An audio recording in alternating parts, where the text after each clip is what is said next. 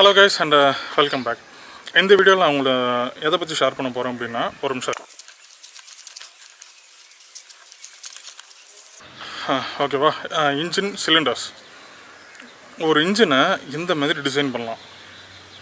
அப்படின்றதுலேருந்து எந்தெந்த மாதிரியான இன்ஜின் சிலிண்டர்ஸை எப்படி எப்படிலாம் டிசைன் பண்ணியிருக்காங்க அப்படின்றது வரைக்கும் எல்லாமே இந்த வீடியோவில் நான் உங்களுக்கு ஷேர் பண்ண போகிறேன் ஓகேவா ஓகே ஃபஸ்ட்டு சிங்கிள் சிலிண்டர் நம்ம பைக்ஸ்லலாம் மேக்ஸிமம் இருக்கிறது சிங்கிள் சிலிண்டர் தான்.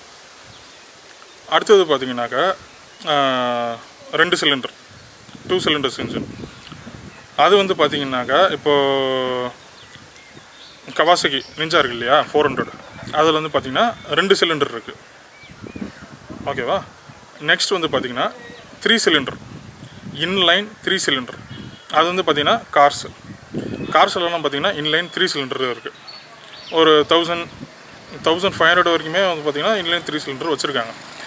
மேஜராக யார் வந்து த்ரீ சிலிண்டர்ஸ் வந்து பார்த்தீங்கன்னா ஒரு தௌசண்ட் ஃபைவ் ஹண்ட்ரட் சிசியில் யூஸ் பண்ணுறதுனா மஹேந்திரா யூஸ் பண்ணுறாங்க டாடா யூஸ் பண்ணுறாங்க ஓகேவா இந்த ரெண்டு மேனுஃபேக்சர்ஸும் inline inline three cylinder thousand five hundred CCs வரைக்கும் யூஸ் பண்ணுறாங்க அதுக்கு அடுத்தது இன்லைன் ஃபோர் இன்லைன் ஃபோர் தான் பார்த்தீங்கன்னா மேக்ஸிமம் இருக்கக்கூடிய எல்லா கார்ஸ்லையுமே வந்து பார்த்தீங்கன்னா இன்லைன் ஃபோர் தான் இருக்குது அதாவது நாலு சிலிண்டர் பக்கத்து பக்கத்தில். ஒன்று ரெண்டு மூணு நாலுன்னு சொல்லிட்டு பக்கத்து பக்கத்தில் இருக்கும் சிலிண்டர்ஸ் அதுக்கடுத்து பார்த்தீங்கன்னா இன்லைன் ஃபைவ் இன்லைன் ஃபைவ் யார் யூஸ் பண்ணுறோன்னு பார்த்தீங்கன்னாக்கா ஃபோர்டு எடுத்துக்கலாமே.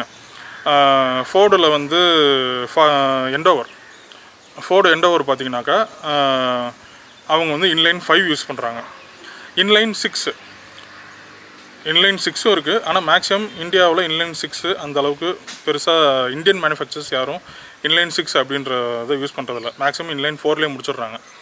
இன்லைன் சிக்ஸ் இருக்கக்கூடிய கார்ஸ் இருக்குது ஆனால் வந்து இந்தியாவில் இல்லை. ஓகேவா? அதுக்கடுத்து வந்து இன்லைன் செவன் அப்படின்றது இல்லை. என்ன பண்ணிவிடுவாங்கன்னா அதுக்கு அடுத்தது வி டைப் இன்ஜின் இருக்குது ஓகேவா? வி டைப் வி டைப்புன்றது வந்து எப்படி இருக்குன்னு பார்த்தீங்கன்னாக்கா உங்களோட இன்ஜின் வந்து இன்ஜின் பிஸ்டன்ஸை வந்து வி ஷேப்பில் டிசைன் பண்ணியிருப்பாங்க. அப்போது இந்த சைடில் ஒரு பிஸ்டன் போயிட்டு வரும் இந்த சைடில் ஒரு பிஸ்டன் போயிட்டு வரும். இந்த மாதிரி வி டைப்பில் இப்படி மூவிங்கில் இருக்கும். இது வந்து பார்த்திங்கன்னா வி டைப் இதில் வந்து பார்த்திங்கனாக்கா வி டைப்பில் வந்து வி சிக்ஸ்லேருந்து ஸ்டார்ட் ஆகும்.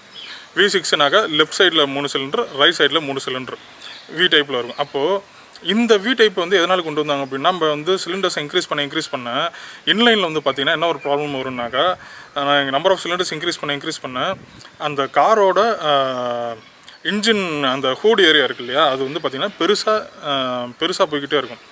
ஸோ ஒரு இன்ஜினை ஒரு காம்பேக்டாக டிசைன் பண்ணணும் அப்படின்னாக்கா அடுத்தது ஒரு பெஸ்ட்டான விஷயம் பார்த்திங்கன்னா வி டைப் இப்போ இது ஒரு விஷயம்.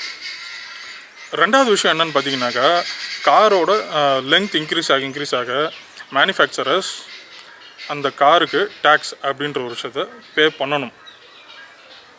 ஓகேவா அது எல்லாத்தையுமே யாருக்கிட்டேருந்து வாங்குறாங்கன்னா பையர்ஸான கஸ்டமர்ஸான நம்மக்கிட்டேருந்து தான் அந்த சார்ஜஸ் எல்லாமே வாங்குவாங்க. அப்படின்றப்போ ஒரு காம்பேக்டாகவும் இருக்கணும் அதே நேரத்தில் பவர்ஃபுல்லாகவும் இருக்கணும். அப்படின்னு வர்றப்போ பெஸ்ட் வந்து பார்த்திங்கன்னா வி டைப்புக்கு வந்தாங்க. இப்போ வி டைப்பில் வந்து பார்த்திங்கன்னா V six V eight V ten V twelve இந்த நாலுமே இருக்குது இப்போ வி சிக்ஸில் முன்னாடியே சொன்ன மாதிரி லெஃப்ட் சைடில் மூணு சிலிண்டர் ரைட் சைடில் மூணு சிலிண்டர் ஸோ இது வந்து வி சிக்ஸ் வி எயிட்டுனாக்கா நாலு நாலு சிலிண்டர் வி டென் அஞ்சு அஞ்சு. வி டுவெல் ஆறு ஆறு சிலிண்டர் இப்போ இதுக்கு மேலே நம்ம இன்க்ரீஸ் பண்ணுறப்போ காரோட பிரெத் அப்படின்றது இன்க்ரீஸ் ஆகிடும் ஏன்னா வி டைப்பில் வந்து பார்த்திங்கன்னா காரோட பிரெத் வந்து இன்க்ரீஸ் ஆகும். ஸோ இதுக்கு மேலே நம்ம கொண்டு போகிறப்போ லென்த் இன்க்ரீஸ் ஆகும் பிரெத் இன்க்ரீஸ் ஆகும் ஸோ இந்த விஷயத்தை வந்து நம்ம கண்ட்ரோல் பண்ணுறதுக்கு என்ன பண்ணாங்கன்னு பார்த்தீங்கன்னா அதுக்கு அடுத்தது டபிள்யூ டபிள்யூ வந்து இப்போ புக்கார்டி வைரான் செரியான்லாம் இருக்கு இல்லையா? அதெல்லாம் வந்து பார்த்தீங்கன்னாக்கா டபிள்யூ இன்ஜின்ஸ் டபிள்யூ டைப்பு இப்போ காரில் அப்படி டபிள்யூ டைப் வந்துட்டதுனால என்ன ஆகும்னு பார்த்தீங்கன்னாக்கா ஒரே சைடில் உங்களால் ஈஸியாக அஞ்சு சிலிண்டர் ஆறு சிலிண்டர் வரைக்கும் ஃபிக்ஸ் பண்ண முடியும். அதேமாரி அந்த சைடும் ஆறு சிலிண்டர் ஃபிக்ஸ் பண்ண முடியும். ஓகேவா அப்போ வி டுவெலில் கம்பேர் பண்ணுறப்போ டபிள்யூ டுவெல் வந்து பார்த்திங்கன்னா இன்னும் காம்பேக்டாக இருக்கும். இன்னும் காம்பேக்டாக இருக்கும். அதே டைமில் வந்து பார்த்திங்கன்னா இன்னும் பவர்ஃபுல்லாகவும் இருக்கும் வி டைப் ஓகேவா இது. அதுக்கு அடுத்தது டபிள்யூ சிக்ஸ்டீன் இப்போதைக்கு எனக்கு தெரிஞ்ச வரைக்கும் டபிள்யூ சிக்ஸ்டீன் தான் இருக்கிறதுலே மேக்ஸிமம் ஒரு ஒரு கார்ஸ் எடுத்து எடுத்துக்கிட்டப்போ. டபிள்யூ சிக்ஸ்டீன் அப்படின்றது தான் இருக்கிறதுலே வேர்ல்டுலே ஹையஸ்ட் டபிள்யூ சிக்ஸ்டீன் அப்படின்றது தான் இப்போ அந்த டபிள்யூ சிக்ஸ்டீனில் உங்களுக்கு தெரிஞ்சிருக்கும். ஒரு சைடு எட்டு சிலிண்டர் இன்னொரு சைடு எட்டு சிலிண்டர் ஈஸியாக காம்பேக்டாகவே முடிச்சிருவாங்க. ஸோ அப்போது இன்ஜினோட அதாவது காரோட லென்த் இன்க்ரீஸ் ஆகாது. காரோட பிரெத்தும் அந்தளவுக்கு இன்க்ரீஸ் ஆகாது. அதே நேரத்தில் ஒரு இன்ஜினை அந்தளவுக்கு காம்பேக்டாக டிசைன் பண்ணி அதே டைமில் உங்களுக்கு காஸ்ட் கட்டிங் வந்து பார்த்தீங்கன்னா இதில் வந்து நீங்கள் இப்போ வி டைப் போகிறதோட டபிள்யூ டைப்பில் வந்து உங்களுக்கு வந்து காஸ்ட் வந்து இன்னும் கொஞ்சம் சேவ் ஆகும்.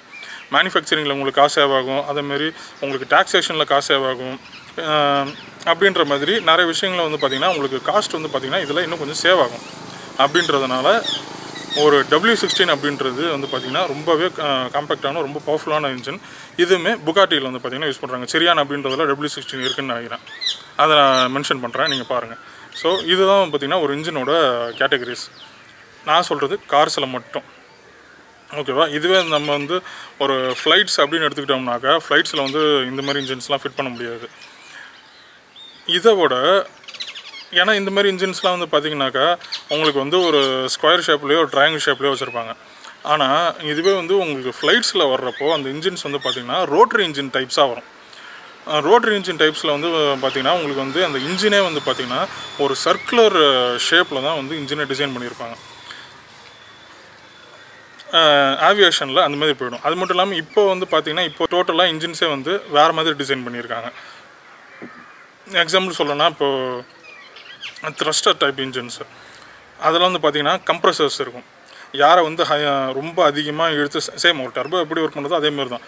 யாரை வந்து நல்லா இழுத்து நல்லா ஹை லெவலில் கம்ப்ரஸ் பண்ணி அதை வந்து ரேஷோ வந்து பார்த்திங்கன்னா அவங்களுக்கு வந்து இப்போ ஒரு எக்ஸாம்பிளுக்கு சொல்கிறேனே ஒரு இருபது அளவுக்கு இருக்கக்கூடிய யாரை இழுத்து கம்ப்ரஸ் பண்ணி ஒரு அஞ்சு ஒரு ஃபைவ் அதாவது டுவெண்ட்டி சென்டிமீட்டர்லேருந்து ஒரு ஃபைவ் சென்டிமீட்டர் அளவுக்கு அந்த இன்லெட் வால்வு வந்து டிக்ரீஸ் பண்ணி அதில் வந்து உங்களுக்கு அந்த யாரை பாஸ் பண்ணுறப்போ என்ன ஆகும்னு பார்த்தீங்கன்னா ப்ரெஷர் வந்து அதிகமாக க்ரியேட் ஆகும்.